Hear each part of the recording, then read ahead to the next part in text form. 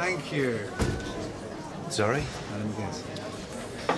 You one of those couples that have no secrets? Who insist on telling each other everything, no matter how trivial, even though it results in rows, recriminations, and an end of a relationship that was working? Oh, come on, Dev. Tracy's family. You shouldn't have told me all them things you felt then, should you? Just throw away off-the-cuff comments. I care deeply about Tracy. Oh, come off it. You were stringing her along and you know it. Well, so you know what's going on in my head, do you? I know what was going on along in hers. She was hearing wedding bells. A misunderstanding. One we could have resolved if you two hadn't opened your big mouths.